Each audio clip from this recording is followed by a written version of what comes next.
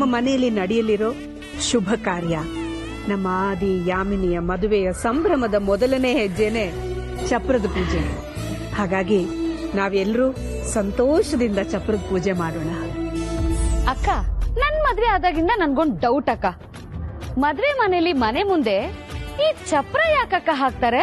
ಮದುವೆಯ ಸಂಭ್ರಮಾಚರಣೆಯಲ್ಲಿ ಮೊದಲನೆಯ ಹೆಜ್ಜೆನೆ ಚಪ್ರ ಹಾಕುವಂಥದ್ದು. ಚಪ್ರ ಹಾಕಿದ ತಕ್ಷಣ ಊರ್ನವ್ರಿಗೆಲ್ಲ ನೆರೆಕರೆಯವ್ರಿಗೆಲ್ಲ ಗೊತ್ತಾಗ್ಬಿಡುತ್ತೆ. ಇವ್ರ ಮನೇಲಿ ಮದುವೆ ನಡೆಯೋದಿದೆ ಅಂತ. ಹೋಗೋರು, ಬರೋರು, ಚಪ್ರ ನೋಡಿದವರು ಎಲ್ಲ ಶುಭ ಹಾರೈಸ್ತಾ ಇರ್ತಾರೆ. ಈ ಚಪ್ರದ ಕಂಬಗಳಲ್ಲಿ ಅಸ್ತು ದೇವತೆಗಳಿರ್ತಾವಂತೆ. ಆಗಾಗ ಶುಭ ಹಾರೈಕೆ ಬಂದಾಗೆಲ್ಲ ತಥಾಸ್ತು ಹಾಗೆ ಆಗ್ಲಿ ಅಂತ ಹಾರೈಸ್ತಾ ಇರ್ತಾರೆ. ಹಾಗಾಗಿ ನಡೆಯುವಂಥ ಮದುವೆ ಕಾರ್ಯ ನಿರ್ವಿಘ್ನವಾಗಿ ನಡೆಯುತ್ತೆ ಅನ್ನುವಂಥ ಪ್ರತೀತಿ ಇದೆ. ಆದರೆ ಚಪ್ಪರ ಹಾಕೋದಕ್ಕೆ ಸಂಪ್ರದಾಯಬದ್ಧವಾದ ಅನೇಕ ಅರ್ಥಗಳು ಇದ್ದಾವೆ. ಇದು ಒಂದು ಪೂಜನೀಯ ಕಾರ್ಯ.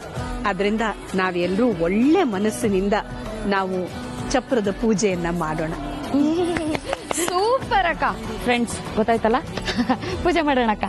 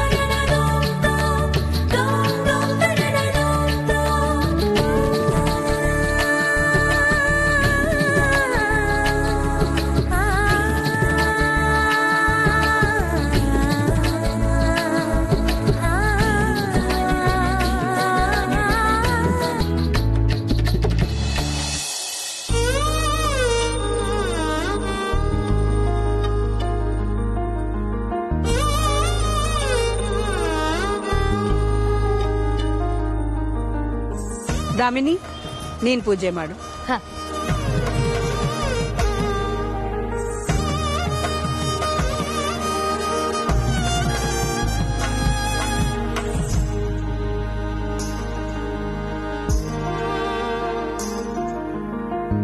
ಜನನಿ ನೀನ್ ಪೂಜೆ ಮಾಡಮ್ಮ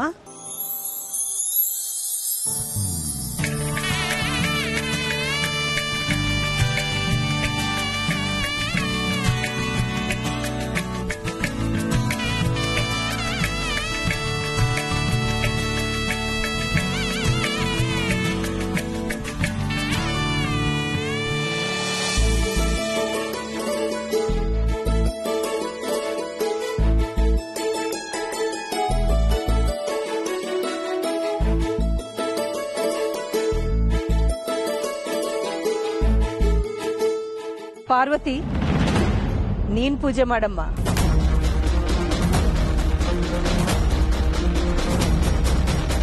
ಅಯ್ಯೋ ಅಕ್ಕ ಅವಳಿ ಯಾಕೆ? ಚಪ್ರದ ಪೂಜೆನ ಮುತ್ತೈದರ್ ತಾನೇ ಮಾಡ್ಬೇಕು? ಶಾಸ್ತ್ರ ಸಂಪ್ರದಾಯದ ಪ್ರಕಾರ ದಾಮಿನಿ ಹೇಳಿದ್ದು ಸರಿ.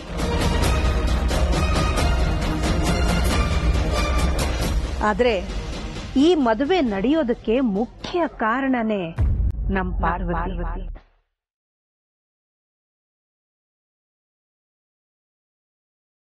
ಅವಳ ಒಳ್ಳೆಯ ಮನಸ್ಸಿನ ಭಾವನೆಗಳನ್ನೆಲ್ಲ ಧಾರೆ ಎರೆದು ಅವಳು ಪೂಜೆ ಮಾಡಿದ್ರೆ ಈ ಕಲ್ಯಾಣ ನಿರ್ವಿಘ್ನವಾಗಿ ನೆರವೇರುತ್ತೆ ಅನ್ನೋದು ನನ್ನ ನಂಬಿಕೆ. ಆದ್ರಿಂದ ಪಾರ್ವತಿ, ನೀನ್ ಪೂಜೆ ಮಾಡಮ್ಮ.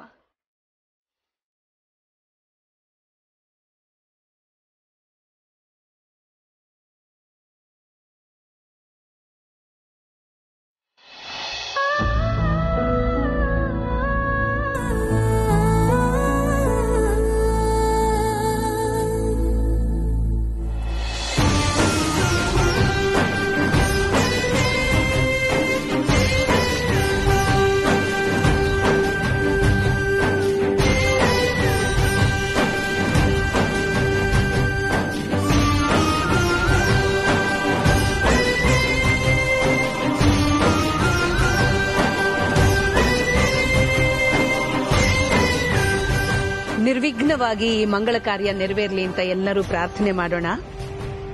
ಮದುಮಗ, ನಮ್ಮ ಹಿರಿ ಮಗ, ಆದಿ, ನಮ್ಮ ಮನೆ ದೇವರ ಪೂಜೆನ ಮಾಡ್ತಾನೆ. ನಾವು ಎಲ್ಲ ಜೊತೆನಲ್ಲಿರೋಣ. ಬಾಪ್ಪ, ಆದಿ.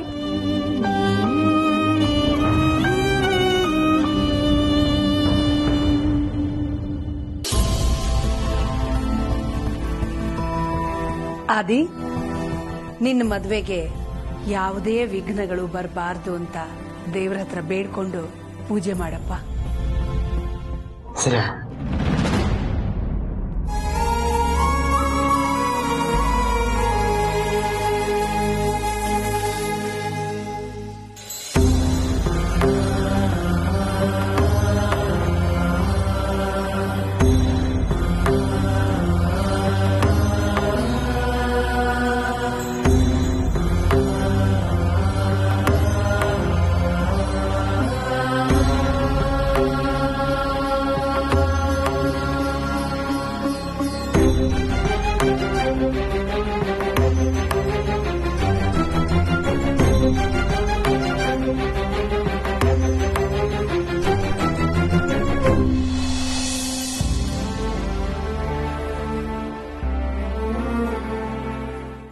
ನಂಬಿಕೆಯ ವಿಚಾರದಲ್ಲಿ ನನ್ನ ಮಗಳು ತನ್ನ ಪ್ರೀತಿನೇ ತ್ಯಾಗ ಮಾಡಿ ನನ್ನ ಮರ್ಯಾದೆ ಉಳಿಸಿದ್ದಾಳೆ. ಅವಳ ತ್ಯಾಗಕ್ಕೆ ಪ್ರತಿಫಲವಾಗಿ ದೊಡ್ಡ ಯಜಮಾನ ಜೊತೆ ಯಾಮಿನಿ ಮೇಡಮ್ ಮದುವೆ ನಿರ್ವಿಘ್ನವಾಗಿ ನಡೆಯಿದ್ದೇವ್ರೆ ಅಖಿಲಮ್ಮನವ್ರ ನಂಬಿಕೆ ಉಳಿಸ್ಕೊಳ್ಳೋದಕ್ಕೆ ಇದೊಂದು ಅವಕಾಶ ಮಾಡಿಕೊಡು ಸ್ವಾಮಿ ಸ್ವಾಮಿ.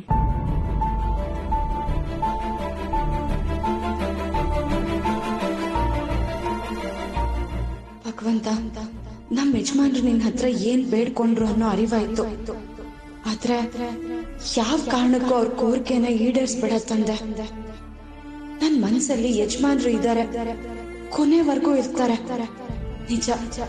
ಹಾಗಂತ ಅವ್ರನ್ನ ನನ್ ಗಂಡ ಅಂತ ಒಪ್ಕೊಂಡು ಅವ್ರ ಜೊತೆ ಸಂಸಾರ ಮಾಡೋದಕ್ಕಾಗಲ್ಲ.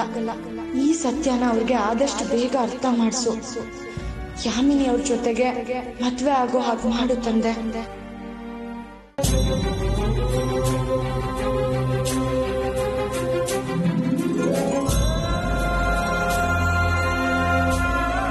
ದೇವ್ರೆ, ಹೇಗಾದ್ರೂ ಮಾಡಿ ನಾನು ಪಾರ್ವತಿ ಒಂದಾಗ ಹೋಗಿ ಮಾಡಪ್ಪ.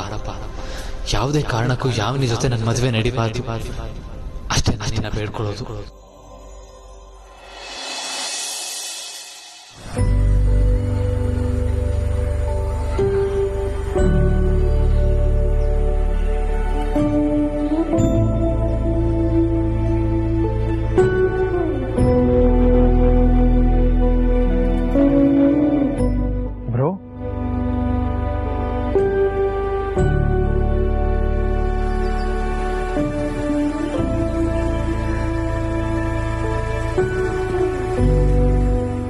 ಒಬ್ನೇಲಿ ಕುತ್ಕೊಂಡು ಏನ್ ಮಾಡ್ತಿದ್ಯಾ ಬ್ರೋ? ಆಕಾಶದಲ್ಲಿ ನನ್ನ ಆಸೆನ ಪೂರೈಸೋ ಯಾವ್ದಾದ್ರೂ ವಿಶೇಷವಾದ ನಕ್ಷತ್ರ ಇದೆಯಾ ಅಂತ ನೋಡ್ತಾ ಇದ್ದೀನಿ ಪ್ರೀತಿ. ಅದೇನಾದ್ರೂ ಸಿಕ್ಕಿದ್ರೆ ಅದೆಷ್ಟು ಕೋಟಿ ಆದ್ರೂ ಪರವಾಗಿಲ್ಲ. ಅದೆಷ್ಟು ಕಷ್ಟ ಬಂದ್ರೂ ಫೇಸ್ ಮಾಡಿ ನನ್ನ ಪ್ರೀತಿನ ಪಡ್ಕೊಳ್ತೀನಿ.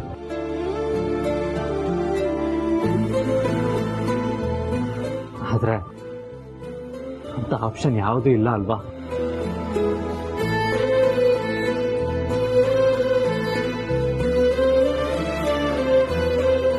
ಬಹುಶಃ ಇಡೀ ಪ್ರಪಂಚದಲ್ಲಿ ನನ್ನಂತ ನತ್ತದೃಷ್ಟ ಬೇರೆ ಯಾರೂ ಇಲ್ಲ ಅಂತ ಅನ್ಸುತ್ತೆ. ಎಲ್ರೂ ದುಡ್ಡು ಮಾಡೋದನ್ನೇ ಜೀವನ ಅಂತ ಅನ್ಕೊಳ್ತಾರೆ. ಆದ್ರೆ ನನಗೆ ಕೋಟಿ ಕೋಟಿ ದುಡ್ಡಿದೆ. ಕೈಸೋ, ಇಡೀ ಪ್ರೀತಿ ಸಿಗ್ತಾ ಇಲ್ಲ ಪ್ರೀತು. ಎಷ್ಟು ದುಡ್ಡಿದ್ ಪ್ರಯೋಜನ ಹೇಳು?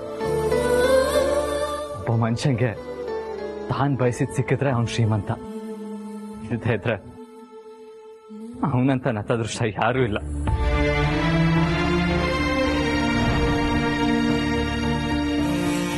ನನಗ್ ಬುದ್ಧಿ ಬಂದಾಗಿಂದನು ನನಗಿದ್ ಬೇಕೇ ಬೇಕು ಅಂತ ನಾನು ಯಾವತ್ತೂ ಆಸೆ ಪಟ್ಟವನಲ್ಲ ಯಾವಾಗ್ಲೂ ಬೇರೆಯವ್ರಿಗೆ ಒಳ್ಳೇದಾಗ್ಲಿ ಅಂತ ಬಯಸ್ತವನು. ಆದ್ರೆ ಫಾರ್ ದ ಫಸ್ಟ್ ಟೈಮ್ ನನಗ್ ಪ್ರೀತಿ ಮಾಡ್ಬೇಕು ಅಂತ ಅನ್ನಿಸ್ತು. ಪ್ರೀತಿ ಮಾಡ್ದವಳ ಜೊತೆ ಜೀವನ ಮಾಡಬೇಕು ಅಂತ ಅನ್ನಿಸ್ತು.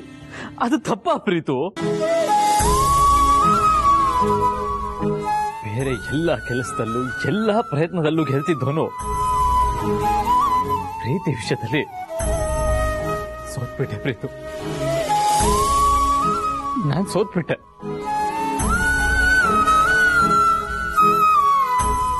ಇವತ್ ಪೂಜೆ ಕೂತಾಗ್ಲೂ ನನ್ನ ಮನ್ಸಲ್ಲಿ ಏನೋ ಒಂದು ಆತಂಕ, ಏನೋ ಒಂದು ಭಯ. ಆದ್ರೆ ಪಾರ್ವತಿ ಮುಖದಲ್ಲಿ ಅದು ಒಂದ್ ಚೂರು ಕಾಣಿಸ್ತಿಲ್ವಲ್ಲ ಪ್ರೀತು? ಮನ್ಸನ್ನ ಅದ್ ಹೇಗ್ ಕಲ್ ಮಾಡ್ಕೊಂಡಿದ್ದಾರೆ ಅಂತ ಹೋಗಿ ಕೇಳ್ಕೊಂಬ ಪ್ರೀತು. ನಾನು ಹಾಗೆ ಎದ್ಬಿಡ್ತೀನಿ.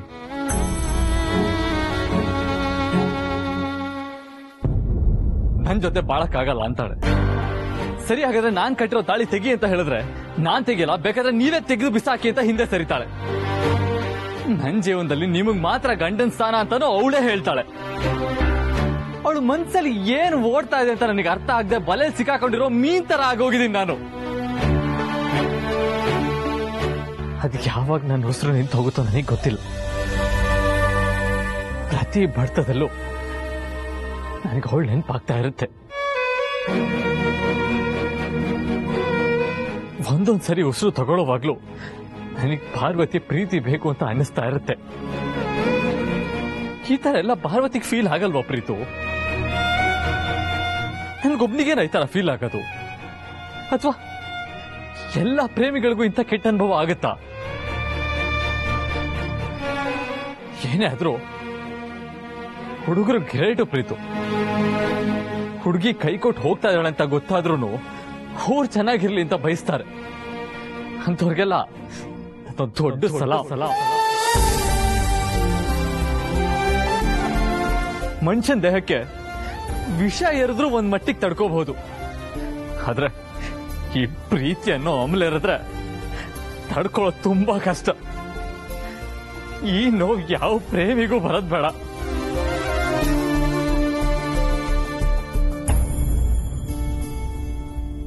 ನನಗೆ ಇದನ್ನೆಲ್ಲ ಸಹಿಸ್ಕೊಳಕ್ ಆಗ್ತಾ ಇಲ್ಲ ಪ್ರೀತು. ದಯವಿಟ್ಟು ನನ್ನ ಒಂಟಿಯಾಗಿರೋದಕ್ಕೆ ಬಿಟ್ಬಿಡಿ.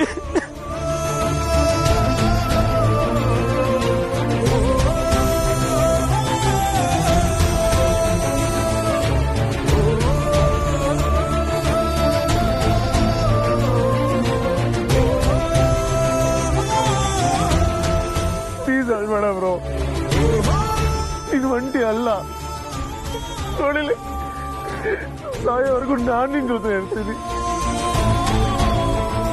ಜರಿ ಇರ್ತಾಳೆ ನಿನ್ ಪ್ರತಿ ನೋವು ನಾವು ಸ್ಪಂದಿಸ್ತೀವಿ ಬ್ರೋ ಹೌದು ಬಾಬಾ. ನೀವ್ ಅಳ್ಬೇಡಿ. ಧೈರ್ಯವಾಗಿರಿ. ನಿಮ್ ಜೊತೆ ಅದ್ ಯಾರು ಇರ್ತಾರೋ ಬಿಡ್ತಾರೋ ನಮಗ್ ಗೊತ್ತಿಲ್ಲ. ನಾವಂತೂ ಕೊನೆವರೆಗೂ ನಿಮ್ ಜೊತೆ ಇರ್ತೀವಿ ಬಾಬಾ. ಅಳ್ಬೇಡಿ ಬಾಬಾ.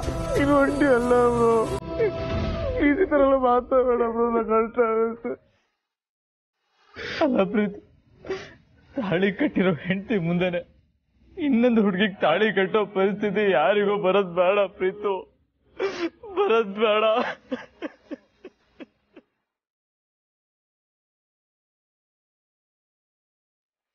ಪ್ಲೀಸ್ ಅಳ್ಬೇಡ ಪ್ಲೀಸ್ ಕರೆಕ್ಟ್ ಆಗುತ್ತೆ ಬ್ರೋ ಪ್ಲೀಸ್ ಅಳ್ಬೇಡ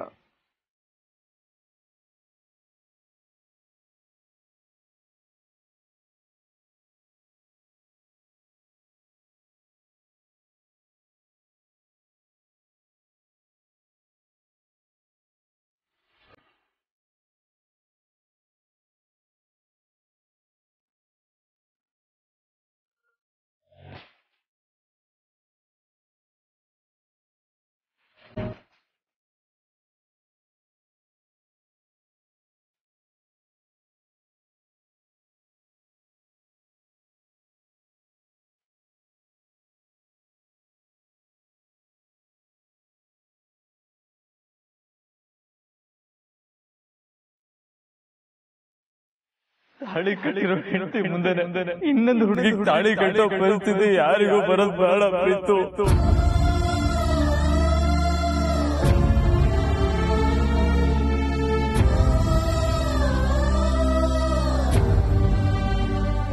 ರಘು ಏನ್ ಯೋಚನೆ ಮಾಡ್ತಿದ್ದೀರಾ? ಆದಿತ್ಯ ಮದುವೆ ಬಗ್ಗೆ ಯೋಚನೆ ಮಾಡ್ತಾ ಇದ್ದೀನಿ. ಏನು ಅಂತ? ನಾವು ಆದಿತ್ಯ ಮದುವೆ ಫಿಕ್ಸ್ ಮಾಡಿರೋದು ಯಾಮಿನಿ ಜೊತೆ. ಆದರೆ ಸುದ್ದಿ ಆಗ್ತಿರೋದು ಆದಿತ್ಯ ಪಾರು ಹೆಸರು.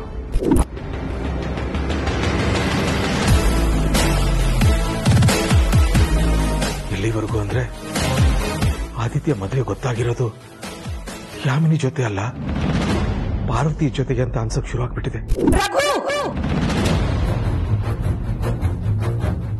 ಏನ್ ಮಾತು ಅಂತ ಆಡ್ತಿದ್ದೀರಾ?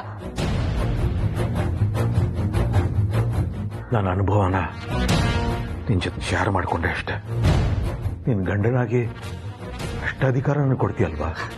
ರಘು ಇಲ್ಲ ಅಧಿಕಾರ ಕೊಡೋ ಮಾತು ಎಲ್ಲಿಂದ ಬಂತು? ಇಲ್ಲಿ ನಾನು ನೀವು ಇಬ್ರು ಒಂದೇ. ಸರಿ ಆಗಿದೆ ಆ ನಂಬಿಕೆಯಿಂದ ನೀನು ಒಂದು ಪ್ರಶ್ನೆ ಕೇಳ್ತೀನಿ. ನಿನ್ನ ಅಭಿಪ್ರಾಯ ತಿಳ್ಕೊಳ್ಳೋದಕ್ಕೆ ಮತ್ತೆ ನಿನ್ನ ಮನಸ್ಸನ್ನ ಇನ್ನಷ್ಟು ಚೆನ್ನಾಗಿ ಅರ್ಥ ಮಾಡ್ಕೊಳ್ಳೋಕ್ಕೆ ಆಗ್ಬೋದಾ ಕೇಳಿ ರಘು ಅದೇನ್ ಪ್ರಶ್ನೆ ಕೇಳಿ? ಒಂದ್ ವೇಳೆ ಆದಿತ್ಯ ಪಾರ್ವತಿ ಒಬ್ಬರನ್ನೊಬ್ರು ಪ್ರೀತಿಸಿದ್ದಾರೆ ಅನ್ಕೊಳ್ಳೋಣ. ರಘು! ಒಂದ್ ನಿಮಿಷ ಹಾಕಿಲ್ಲ ನನ್ನ ಮಾತು ಪೂರ್ತಿ ಕೇಳಿಸ್ಕೊ.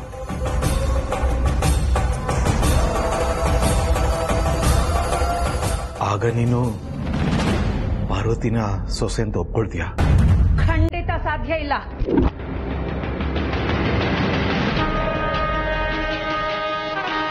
ಯಾಕೆ? ಅವಳು ಈ ಮನೆ ಕೆಲಸದವಳು ಅನ್ನೋ ಕಾರಣಕ್ಕ? ಅದು ಮಾತ್ರ ಅಲ್ಲ ರಘು. ಅರಸನ ಕೋಟೆ ಹಿರಿ ಸೊಸೆ ಆಗ್ಬೇಕಾದವಳಿಗೆ ಬೇರೆದೇ ಕ್ವಾಲಿಫಿಕೇಶನ್ ಇರಬೇಕಾಗತ್ತೆ.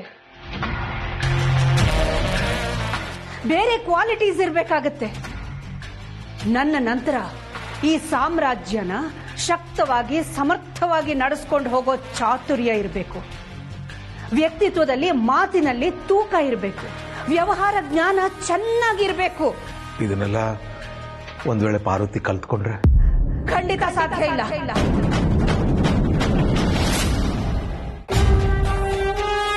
ಪಾರ್ವತಿಯಲ್ಲಿ ನನ್ನ ಪರಿಕಲ್ಪನೆಯ ಅರಸನ ಕೋಟೆಯ ಹಿರಿ ಸೊಸೆಯಲ್ಲಿ ರಘು ಕೆಲವು ಗುಣಗಳು ಕಲಿಕೆಯಿಂದ ಬರುತ್ತವೆ. ಇನ್ನು ಕೆಲವು ಅಭ್ಯಾಸದಿಂದ ಬರುತ್ತವೆ. ಇನ್ನು ಕೆಲವು ಹುಟ್ಟಿನಿಂದನೇ ಬಂದೆ ಬಂದೆ ಇದರಲ್ಲಿ ಒಂದಾದ್ರೂ, ಒಂದೇ ಒಂದಾದ್ರೂ ಪಾರ್ವತಿಯಲ್ಲಿ ಇದೆಯಾ?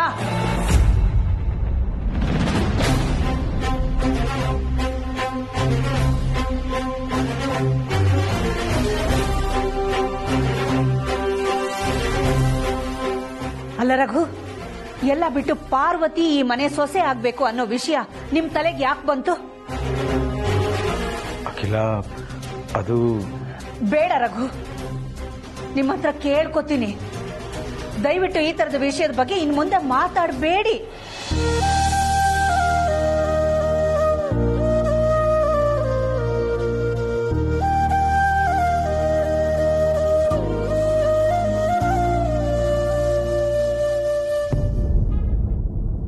ನಿಮ್ಮ ಘನತೆಗೆ ತಕ್ಕನಾದ ಆಲೋಚನೆ ಅಲ್ಲ ಇದು.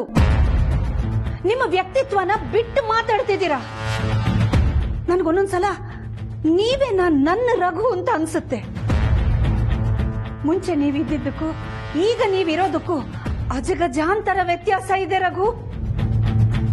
ರಘು, ಮನಸ್ಸಿನಲ್ಲಿ ನೂರೆಂಟು ಆಸೆ ಇದ್ರೂ ವಾಸ್ತವ ಅಂತ ಬಂದಾಗ ಅದನ್ನೆಲ್ಲ ಬದಿಗಿಟ್ಟು ಅಧಿಕಾರದ ನಡೆ ನಡೆಸಬೇಕಾಗುತ್ತೆ.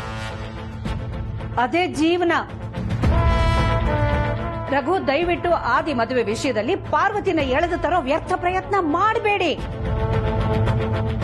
ಇದನ್ನ ನನ್ನ ಆಜ್ಞೆ ಅನ್ಕೋಬೇಡಿ. ಕೋರಿಕೆ ಅನ್ಕೊಳ್ಳಿ, ಪ್ಲೀಸ್.